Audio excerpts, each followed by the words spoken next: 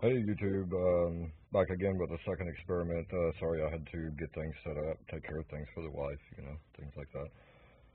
Either way, uh, I debunked uh, one experiment they did with the neodymium magnets, uh, neomagnets, and these things are supposed to be able to create free energy if you do all this wild and crazy stuff, and of course, you know, physics and electronics say, hey, it's completely impossible, but, you know, I'm, I'm, I'm willing to give it a try.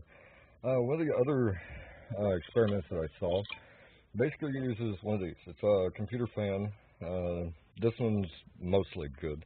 This bearing uh, messed up a little bit, and I reset the bearing. You know, uh, it's not something I'd put in a, in a computer and and um, try to sell it down the road, but it uh, the fan does work. Um, I didn't. I'm not going to bring out the power supply and plug it in just to prove it. It it works, and so whatever.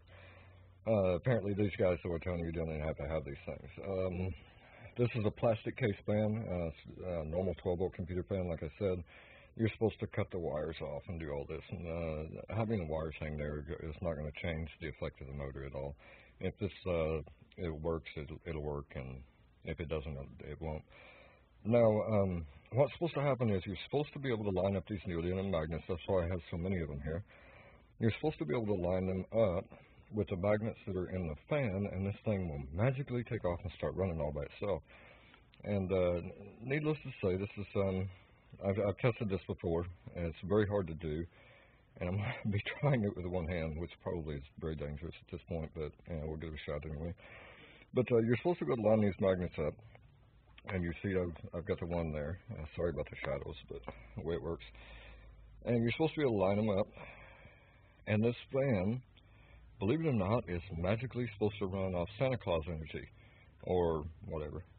And um, see if I can get him there. And then uh, the guy on the video, of course, says you absolutely have to have all four of them in place, and yada yada yada yada, whatever. And uh, there they are. They're all in place. And of course, the fan's not running. We'll give it a little boost here and they just say it's still not going to run. Um, I've tried uh, going north poles, south poles, if you know anything about magnets, so there's one side that's north, one side that's south. Uh, but I've tried going north pole, south pole, center poles, etc., etc., etc. I've tried using one of the uh, CPU fans of the old CPUs. You know, they're about this big, they're really tiny fans. You know, because I don't want to hear these guys tell me, "Oh, it's not working because your magnets aren't big enough." Uh, these magnets are dang strong. Uh, I don't believe that's the, the case at all. And of course, um, there you go. Uh, basically, it's not working. Even I've tried this. I've tried moving it around, and I actually had these magnets set up at one point, and it won't work here because I had a board and had them taped down so they would stay in place. Because these things are really kind of kind of tricky to, to mess with. But uh, I tried taping them down and all that fun stuff, and they didn't work. And and uh, I didn't want to do that experiment here and show you this kind of thing just simply because you know you're going to say, oh, the board's doing this or the board's doing that. In case it actually worked, uh, needless to say, it doesn't. So that's kind of irrelevant, I guess.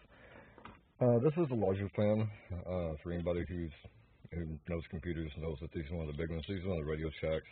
It's a 12 volt uh, brushless 0.32 uh, amps uh, which is really pretty hefty per se, I guess. Um, this fan is actually off one of my uh, uh, car stereo setups, and I pulled them off just because they're noisy. They're loud and noisy. Now this is metal. Uh, well, the case is uh, aluminum metal. Uh, it's got a plastic inside. You can see these. This fan is a lot bigger. Uh, it's got a lot different spin to it. Even.